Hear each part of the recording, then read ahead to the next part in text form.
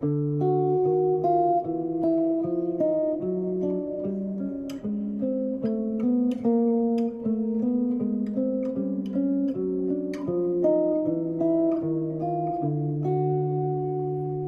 like to share a little contrary motion study with you. This is chromatic contrary motion. I enjoy coming up with these. I enjoy playing them, seeing how the fingerings lie on the fingerboard, and what happens when we try to find perhaps systematic ways of doing these.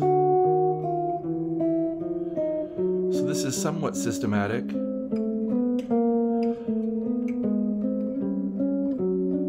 And I'll explain what I mean here. We're going to start with the interval of a tenth, a usable, more or less consonant interval. And we're going to run the bass line up by half steps uh, soprano line down. Then we're going to come back. Be sure to check out the Contrary Motion studies playlist that I'll put a link to in the description below if you like these kinds of things. I think they're really great for visualizing the board, for knowing your note names, and being able to think in a different way than just diatonic harmony. So here's D and F sharp, 5 and 7. Now those are gonna, the fingers are gonna have to converge from the 5th and 7th fret to the 6th and 6th fret. So from D to F sharp, 5 and 7, let's say E flat and D, or sorry, E flat and F, E and E. You could also think D and F sharp, D sharp and F,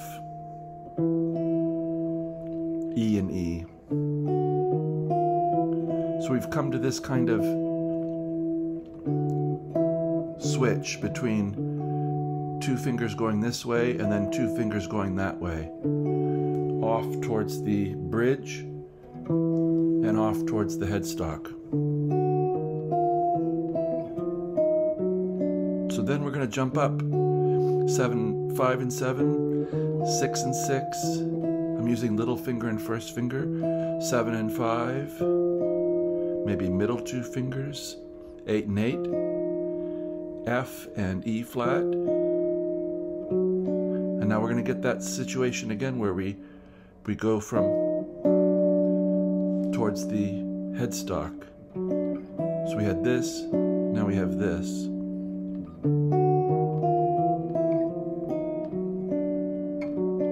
So F sharp and D. Interesting to note, we've done a voice exchange. D and F sharp, F sharp and D. If we continue on, now we need the D to go to C sharp or D flat. We need this F sharp to go up to G. So we're not going to do anything in this study that, that would create some stretch like this.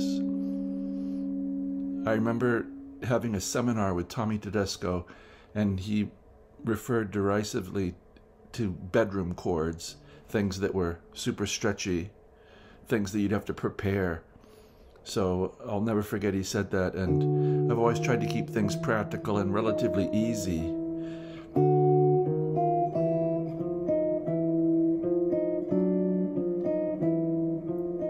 So just even this as a finger exercise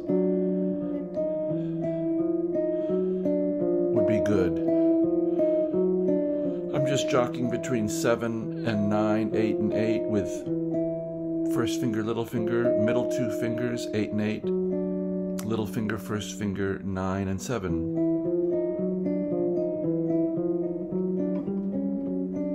There, I tried to go one further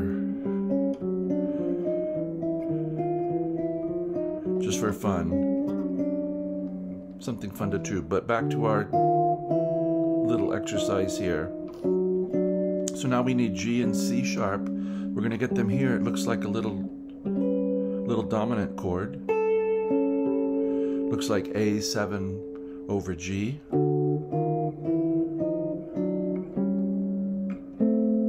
So then this is 10 and 11. I'm using middle two fingers.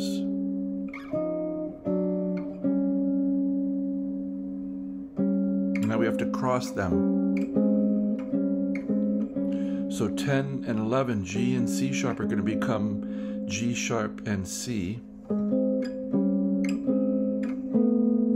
Then getting close to a unison here, A and B, 12 and 9, and they're both going to merge into this single B flat here. So we, we think of this B flat as springing forth an upper voice and a lower voice.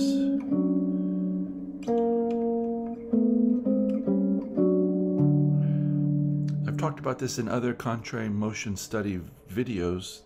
Again, the link will be in the description to the playlist. That sometimes you'll find these real tonal pairings along the way. D major could be E flat 9 or other things. Could be E7 maybe. F7 D major. A7 maybe A flat major. A and B anybody's guess? Could be a couple of things. B flat by itself. So 8th fret B flat, then 12 and 9 again, 11 and 10, 10 and 11. Now we have some choices here. We can either go back to our off to the side this way, but I'm going to suggest that we come out to this 6th here, ninth and 12th fret, F sharp and D. And then we go into our straight across 8 and 8. F and E flat. Now we're going to get E and E, which we haven't had before like this. We had it like this before. So now we're getting this way. And now we're entering, what did we say? E flat and F to D and F sharp. This is 6 and 6. 5 and 7. But part of learning the board would be to be able to follow these lines and see for yourself how they're going and what we need to do to continue the line.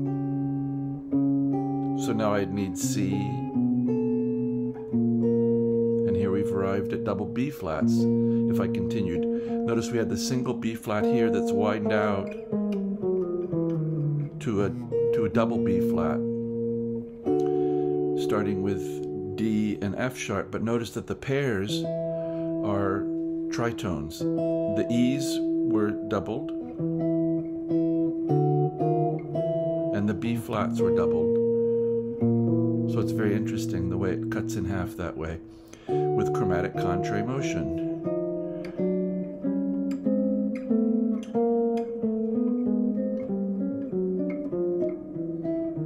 So I hope you found something of interest here. A new way to see the board, maybe, a new way to use the fingers. I'm trying to offer things that are helpful. Be sure to check out the playlists. There are over 30 at this point. I try to load them up with things that are related and might be fun. This is all supposed to be fun, folks. I hope this finds you doing marvelously well, and I wish you, as always, a very good day.